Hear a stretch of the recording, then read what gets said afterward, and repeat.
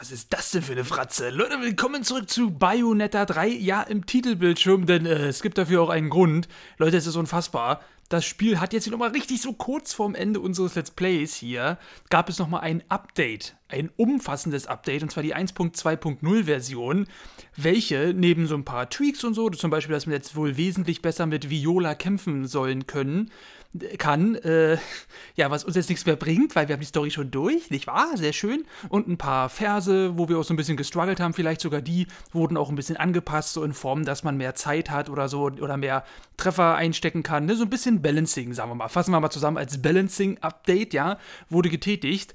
Aber noch was ganz anderes, Leute, ich wollte ja eigentlich, äh, ich wollte ja mit euch diese drei Schlüssel für das antike Bilderbuch suchen und das, naja, das muss ich nicht mehr. Bayonetta. Weil man anscheinend haben sie einfach, ich weiß gar nicht warum, anscheinend kriegt man die jetzt einfach so, wenn man halt ja, zum ersten Mal die Tore der Hölle, also ja, äh, Rodans Bar, sobald man die betreten kann, kriegt man die Schlüssel einfach so. Also ein bisschen schade finde ich schon, weil die waren halt echt cool versteckt. Ich hätte euch gerne die Verstecke gezeigt. Aber naja, jetzt kriege ich sie halt, also müsst ihr jetzt gleich kommen, dass wir die einfach so bekommen. Richtig, äh, naja, Glück gehabt oder Pech gehabt, je nachdem, wie man es sehen möchte, nicht wahr? Tada! Drei Farbschlüssel. Du hast die drei Farbschlüssel erhalten. Einfach so. Die hätte ich eigentlich suchen müssen. Mit Hilfe dieser Schlüssel sollte es dir gelingen, das Siegel des alten Bilderbuchs zu brechen, das im Tor zur Hölle zum Verkauf angeboten wird. Und ja, das, das haben wir schon richtig lange uns gekauft. Und ja, das habe ich jetzt einfach äh, fertig. Und damit steht uns ein sehr, sehr cooles, kleines, minimales Bonuskapitel offen. Und um das soll es heute gehen. Ja, an sich, ich war so schön vorbereitet. Ne? Ich habe ja schon mich schlau gemacht, an welchen Versen, in welchen Chaoskluften, Unterkapiteln diese Schlüssel zu finden gewesen wären. Auch erst würde ich, nachdem man es durchgespielt hat, wie erklärt. Aber ja, das müssen wir jetzt nicht mehr. Tut uns leid, tut mir leid. Aber alle, die die Schlüssel auch noch nicht eingesammelt haben, denen das vielleicht zu mühselig war, die haben die jetzt auch einfach so in petto.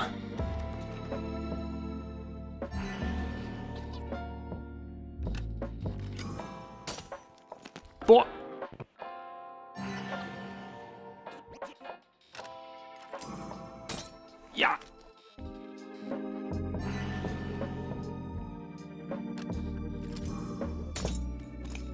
Ultra cool. Alter, wenn du das Buch aufschlägst, kannst du womöglich für einen längeren Zeitraum nicht hierher zurückkehren. Möchtest du trotzdem im Buch blättern? Leute, darum soll es heute gehen. Machen wir sehr, sehr gerne. Oder dass es hier so steht, womöglich für einen längeren Zeitraum. Nee, tatsächlich soll das wohl sehr, sehr kurz sein. Also ich hoffe, dass wir das in einem Part schaffen.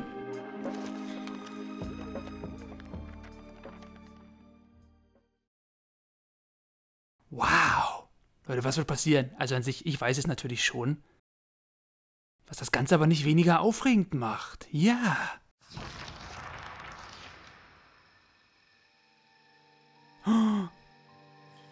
Guck mal, Leute, es ist auf einmal ein komplett anderes Spiel. Und ja, das ist hier tatsächlich ein Foreshadowing auf ja eigentlich schon Platinum Games nächstes angekündigtes Abenteuer. Das haben sie ja auch relativ, ja, also zum Zeitpunkt der Aufnahme wurde es ja eigentlich relativ spontan angekündigt und kommt auch schon bald raus, dass es einfach hier ein Bayonetta Origins Game gibt. Also nicht Bayonetta 4 oder so, nee, Bayonetta Origins. Und wir zocken halt wohl ja, wie man sieht, Bayonetta als kleines Mädchen noch, als Kind, wie wir es ja eigentlich auch in Bayonetta 3 öfter gemacht haben. Und das soll wohl ein ganz anderes Gameplay-erfahrungswertmäßig äh, sein. Und deswegen kann man hier schon so ein bisschen quasi, nennen wir es einfach Demo, kann man ein bisschen eine Demo zocken. Der mega mal spannend. Okay, mal gucken, was kann ich denn alles? Ich kann nur laufen, äh, mit meinem Kuscheltier, ja, mit der Kuscheltierkatze, ja, ja. Na, okay, gucken wir mal. Hm, Sieht aber schick aus. Ah, Mann, ey, cool. Einfach so eine geile Demo eingebaut. Voll nice.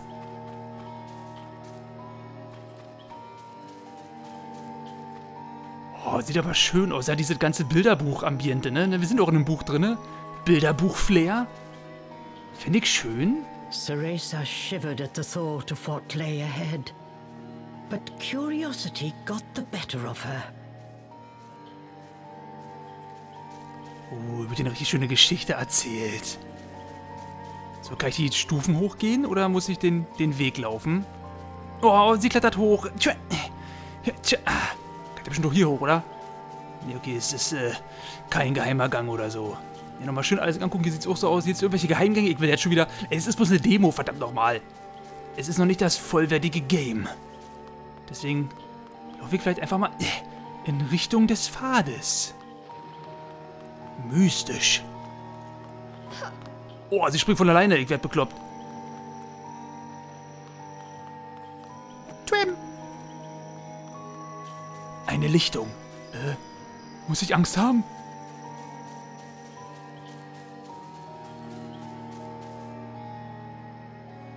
Ah, Es kommt auch noch Nebel hinzu.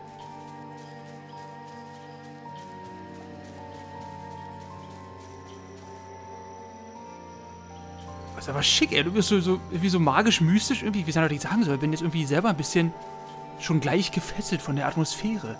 Hm? Das ist ein... Ich dachte, ich hätte was gesehen. Let's go, Cheshire.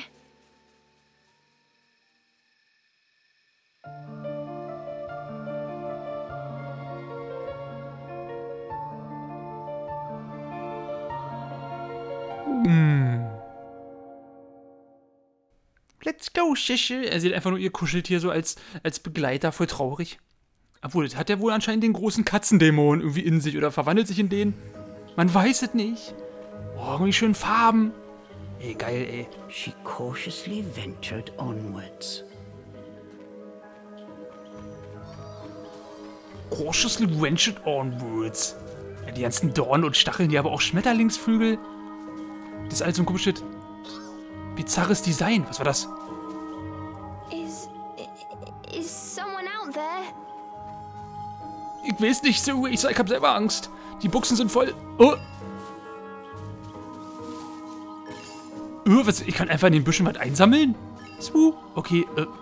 Alles klar, was ist denn hier? hier was ist denn hier in den Büschen?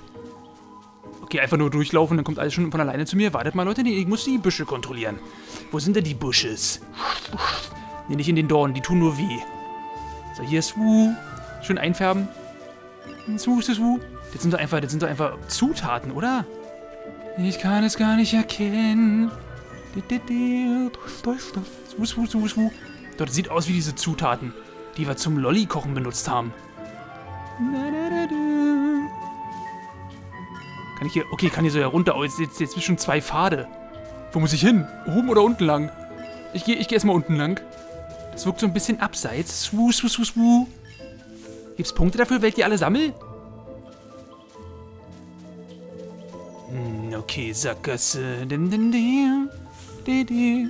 Oh, richtig großer Busch, da kommen so ja zwei Sachen raus. Hm, geil. Hier alles dicht. Okay. Ne, keine Ahnung, was das hier ist. Ein kleiner offener Raum. Na gut, ich, äh. Kletter wieder hoch hier.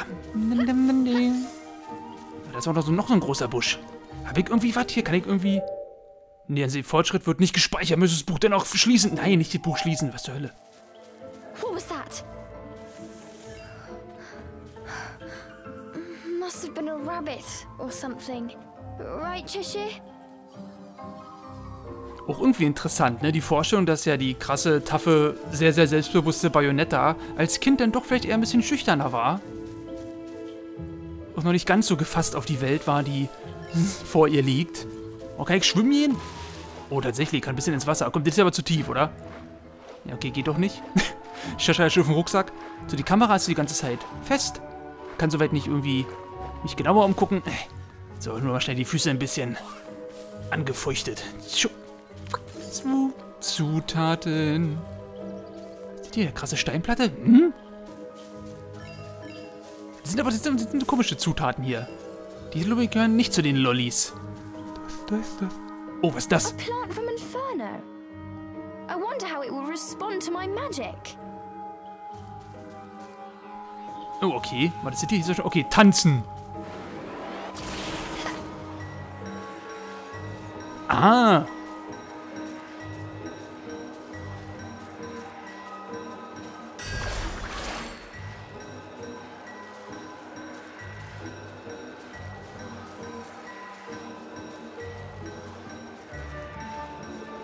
Äh, also ein bisschen schwierig äh, jetzt hier das richtig so. Ich sehe nämlich gar nicht, ob oben auch was ist. Ich glaube, oben ist auch was. Links dafür nicht.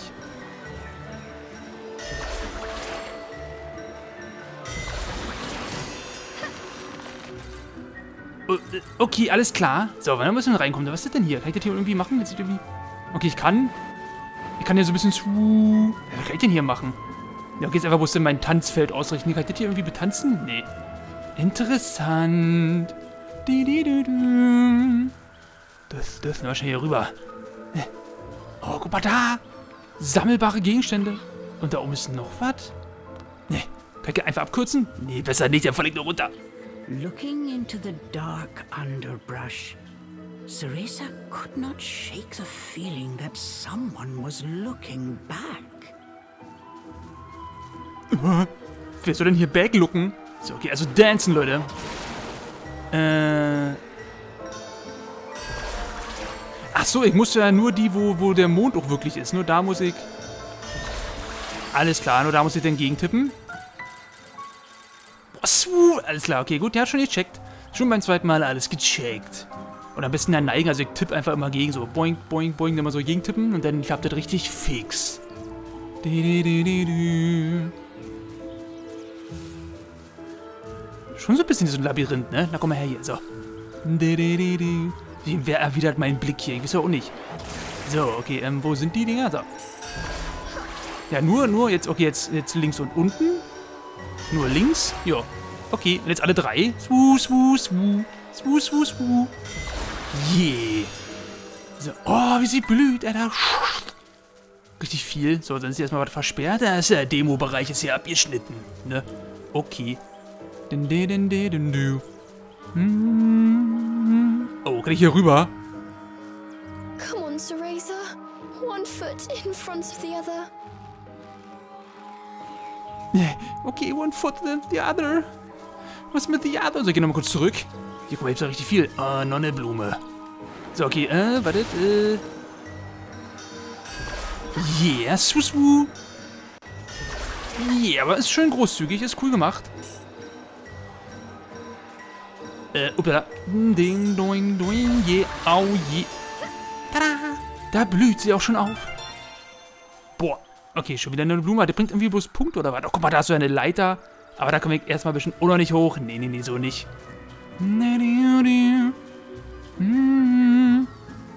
So, was haben wir jetzt hier?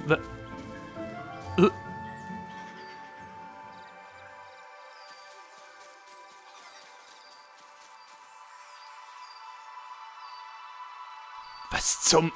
Das ist ein kleines Häuschen. So, Leute, aber jetzt, ich weiß auch tatsächlich doch schon, dass ich nochmal ein bisschen... würde gerne nochmal ein bisschen gucken, weil man kann hier tatsächlich in der Demo auch noch was anderes freispielen. Und zwar ein kleines Kostüm. Ja, soweit wurde ich auch schon informiert. Aber das war irgendwie, also ich habe ja gesehen, so eine Blume, die wir jetzt zum Blühen gebracht haben. Und man muss halt irgendwie, ist ein bisschen fies, sind wir ganz froh, dass ich das schon vorher informiert wurde. Man muss jetzt wohl, wenn man die ersten beiden Blumen gemacht hat, muss man nochmal zurückgehen. Und ich kann mir auch schon vorstellen, wohin zurück, an dieser einen Stelle, die am Anfang so leer war. Da ist ja nämlich jetzt, glaube ich, nochmal eine dritte Blume. Oh, guck mal, da oben sind Vögel, da oben. Eulen. Die den Kopf umdrehen, oh shit. Also, lass mich nochmal ganz kurz nochmal gucken. Ich weiß natürlich jetzt nicht, ab wann man zu weit gehen kann oder so. Deswegen, ich hoffe, äh... Ich will einfach nur mal ganz kurz schauen. Noch sieht das so aus, ob wir den ganzen Weg zurückgehen können. Machen wir die Demo halt auch gleich in einem Rutsch complete. So, zwei Blumen haben wir zum Blühen gebracht. Ja, und irgendwo eine, ich weiß nicht, warum die dann erst so spät kommt, aber okay, es ist okay. Din, din, din, din, din. Lala. Also ich hoffe, dass die jetzt da ist. Wie gesagt, ist noch so ein bisschen, aber was ist das hier eigentlich für ein Ding? Warum könnt ihr nicht zum Blühen bringen? Na gut, dann nicht. So, wartet, nee, wo war das? Noch ein bisschen weiter zurück. Bam, bam, ding, bam, bam. Also ja, bevor man, also bevor man, also nachdem man erst die Fähigkeit überhaupt lernt, taucht einfach nochmal irgendwo eine Blume auf. Also ich hoffe jedenfalls. Wie gesagt, meine Infos sind jetzt nicht weiter groß, äh, ausgereift. Aber hier war das doch, ne? So. Oh, guck mal! Ach nee, das ist ja einfach eine Truhe. Okay, das ist ja schon die Belohnung. Ich dachte irgendwie, dass man so drei große Blumen erblühen lassen muss und irgendwie die dritte Blume ist dann irgendwie ganz komisch halt noch weiter zurück. Okay, gut. Egal, Leute. Das ist auf jeden Fall das, was wir uns freispielen konnten. Alter, geil. Cool. Tja, was war das denn, Leute? Ja, und das war wieder, nee, es sah noch nicht so aus. Nee, es ist wirklich ein Kostümspiegel, den man sich hier noch freispielen kann. Also war der ganz kleine nur, ne? Deswegen schön, schön, schön, schön, gleich mitnehmen. Okay, sind anscheinend doch noch mehr Blumen, die man zum Blühen bringen muss. Warte mal, wie viele Blumen haben wir jetzt zum Blühen gebracht? Das muss ja eigentlich, swu, swu, swu, swu, eigentlich easy nochmal rückwirkend zu merken sein. Also die erste Tutorial-Blume zählt anscheinend mit. Ja, dann ist aber auch der Zeichen, dass wir gleich durch sind. So, vielleicht zählt das hier mit. Als eine Blume zum Blühen gebracht. Okay, dann sind da halt die ganzen kleinen. Dann die eine große. Und dann nochmal eine andere große. Hm. Na gut, okay. Anscheinend schon alles. Ja, die war ja denn hier. Ja, hm, okay. Also, dann könnt ihr auch gleich alle so nachmachen und dann habt ihr auch die Demo komplett durchgezockt. Komm, Cheshire. Wir schaffen das. Dus, dus, dus, dus. Hm, hm, hm, hm. Aber so an sich muss ich sagen, also wirkt schon mal sehr, sehr cool. Und ich habe ja auch dann tatsächlich auch sehr große Lust, dieses Bayonetta Origins Game auch als Let's Play zu bringen. Also ich will jetzt mal nur versprechen, ne? Ich habe ja den Bus jetzt, also interessiert mich halt schon. Nicht hier dieses actionorientierte Hack'n'Slay. Das sieht ja eher so aus wie ein bisschen Rätsel. Ne, vielleicht so ein kleines Rätsel-Adventure. Natürlich sehr atmosphärisch und stimmig. Und ja, das werde ich mir auf jeden Fall, wird sich genauer angeschaut. So, bum, bum. Okay, Zutaten kommen auch einfach so zu mir geflogen. Auch wenn ich sie nicht direkt einsammle, gut zu wissen. Na komm, Suisa, komm mal hier runter. Wir dürfen sie, wir dürfen sie ja nicht Bayonetta nennen, denn er ist ja noch Suisa. Su.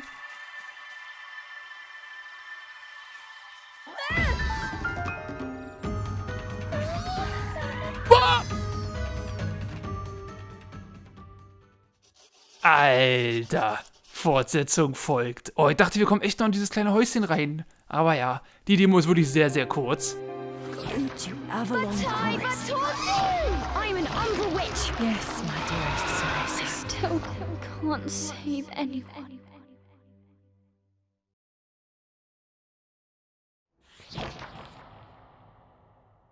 What could this be?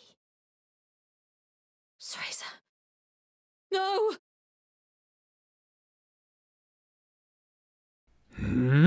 Nanuchen. Ey, Leute, geil. Interessant, sehr interessant. Auch Leute, doch, ich, also ich hab Bock. Bayonetta Origins, Suisa and the Lost Demon oder so, hieß übrigens der volle Titel, ist ein bisschen ja, ein ganz schöner Zungenbrecher, ja. Aber geil, Leute, was sagt ihr dazu? Also, hättet ihr so eine Lust da? Das ist ja schon mal echt ein cooler erster Vorgeschmack. Jetzt haben wir natürlich noch kein Combat gesehen, aber der Cliffhanger lässt vermuten, dass es Combat geben wird. Der Superspiegel Zero steht ab sofort im Laden zum Kauf bereit. Geil! So, das war dieses kleine Bonuskapitel. Und wir haben noch ein bisschen Zeit. Leute, ich möchte euch gerne erzählen, ich war noch vor dem Update, war ich nochmal fleißig und habe mir ganz viele Halos gefarmt. So viele, dass ich mir eigentlich im Laden schon alles Mögliche gekauft habe, ja, und auch tatsächlich jeden Gegenstand von den Regionen, wo man immer nur bei Wodan diese, diese Souvenire sich kaufen kann. Da haben wir jetzt alle geholt. Hier, also das hat hier gefehlt, der schlafende Hund, dann irgendwie die zwei Türme, hier diese Kriegerstatue habe ich mir geholt. Ansonsten hatten wir ja, die Laterne hatten wir, hier den Arc de Triomphe habe ich mir geholt, die Maske hatten wir ja, dann hier diese, diese beiden Magnetpins hatten wir ja auch schon. Dann war noch hier diese, dieser Bus, dieses Kissen und dieses Riesengemälde. Also insgesamt sind es zwölf Gegenstände. Ne, wie gesagt, jeder pro drei Kapitel und halt mir einfach geholt. Und da habe ich auch gemerkt, dass es echt total easy ist. Da macht man sich einfach nochmal schlau. Ne, hier beim, beim Kapitel, wenn man hier ihn so auswählt, bei welchem hier Checkpoint ist denn hier Rodans Laden? Dann nimmt man da einfach hin, geht in den Laden, kauft sich das und dann macht man doch einfach Kapitel wieder verlassen. Ne, das geht denn, da steht dann zwar, ja, wird nicht gespeichert, aber doch, doch. Da wird alles an sich gespeichert, voll cool. Und so, deswegen war das eigentlich ein schöner Klacks. Habe ich einfach mal für mich geholt, war jetzt aber nicht sonderlich spannend. Hab da nichts verpasst, Leute. Aber ich dachte mir, hey, ich zeige euch mal noch, wo ich am besten gefarmt habe, ich persönlich. Und das war ganz am Anfang von Kapitel 2. Der war nämlich wirklich schön easy, weil da hat man ja gleich direkt am Anfang des Kapitels hat man ja so einen so ja, so Engelkampf. Und da kann man dann einfach richtig schön die schön dismanteln. Geht eigentlich relativ fix.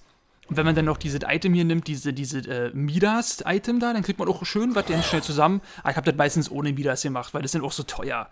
In so ein Midas-Objekt, ihr wisst schon, dieser Gegenstand bei den Lollis. So, dann immer schon einfach überspringen. Voll easy going. Ja, oder wo war jetzt hier so ein komischer. Nee, äh, warte mal. Ach doch, wartet.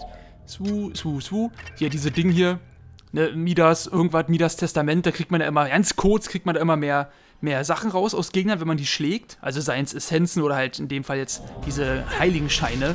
Aber naja, naja, ich weiß nicht, Leute. Komm, dann geht man einfach hier hin und dann wird erstmal schon gebettelt.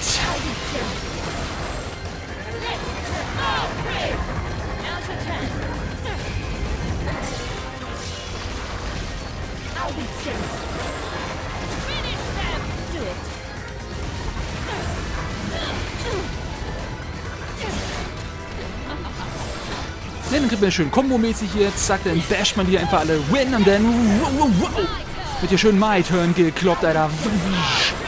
So, schön mit irgendwelchen Demons, die man sich da einfach da nimmt, Alter. Und dadurch habe ich auch sehr viele, äh, sehr viele, sehr viele, na, wow, wow, wow, sehr viele Blutdinger bekommen, dass ich auch mal schon offscreen viele Dämonen einfach nochmal aufgelevelt hatte. Ne, warum nicht? Dann habe ich auch so oft gemacht, dass ich das hier so ja in rein Platin schon geschafft habe. Also werde ich jetzt nicht schaffen, aber... Wow, wow, wow, dim, dim, dim. Zack, nicht hier deinen komischen Schild machen, was soll das? Oh, down. Ne, so, ne, dann freut sie sich hier, gibt ein Küsschen hier. Ja, und dann macht man einfach nochmal und verlässt einfach das Kapitel. Richtig easy. Zack. Wäre nur Platin, ja, ich hab Schaden genommen. So, kommen jetzt einfach schon 3000 wieder, richtig cool. Ja, und dann einfach, ne, zurück zur Kapitelauswahl. Sind Sie sicher? Ja. Wie gesagt, das, was man so einsammelt, das wird gespeichert. Und da hat man auch gerade gesehen, irgendwann wird ja auch tatsächlich gespeichert. Und guckt da oben, ihr seht, rein Platin habe ich schon geschafft. Aber ja, ne kann man immer wiederholen. Ne? Gegebenenfalls würde ich einfach mit Midas Testament, kriegt man so vielleicht nochmal eine doppelte raus oder so. Geht recht fix. Und ja, Leute, so konnte ich mir alles nochmal nachkaufen. So, ich glaube, den Spiegel, den werde ich mir nicht holen können gleich, ne? Der ist aber schon wieder ein bisschen teurer. Wenn der wie die anderen Spiegel einfach so teuer ist. Hm, so, naja, und hier, Leute, haben wir auch, ja, ich, Leute, ich weiß nicht, hier, hier ist das Platin-Ticket. Guck mal, wie teuer das ist. Und ich weiß, ob wir das nur alle zusammen gefarmt kriegen. Irgendwie, ich glaube nicht, das würde zu lange dauern. Dieses Objekt verleiht seinem Träger das Recht, Rodan auf dem Zenit seiner dämonischen Macht herauszufordern. Gab's auch in jedem Bayonetta-Teil. Und ich glaube, in jedem Bayonetta-Let's Play haben wir das nicht gemacht. Ja, also an sich kann ich ja auch noch kurz erzählen. Wenn man das äh, Ticket hat, kriegt man eine Chance, gegen ihn zu kämpfen. Ich glaube tatsächlich auch nur einem einmal. Ja, dann musst du immer wieder, wenn du neu kämpfen willst, glaube ich, immer wieder ein neues Ticket holen. Ganz toll. Ne, einmal. Und wenn man den dann besiegt, dann kriegt man halt, ja, Rodan als Dämonform und seine Waffe. Das ist eigentlich das ist auch cool. Das ist so ein kleiner Ansporn.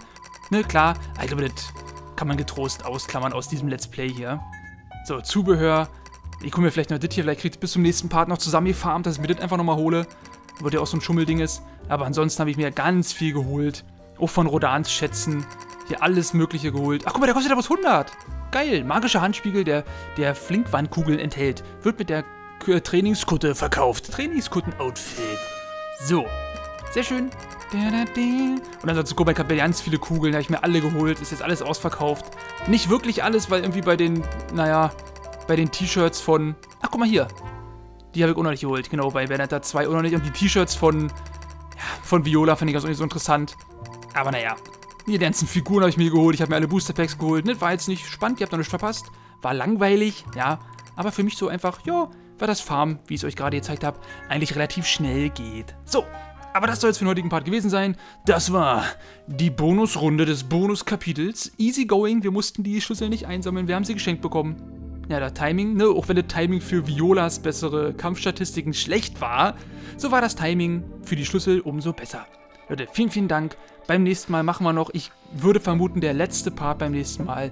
Bei dem geht es dann um die Hexenprozesse. Ja, könnt ihr euch schon drauf freuen. Und ansonsten ist das Let's Play aber auch an sich beendet. Bis zum nächsten Mal, Leute. Danke fürs Einschalten. Ciao.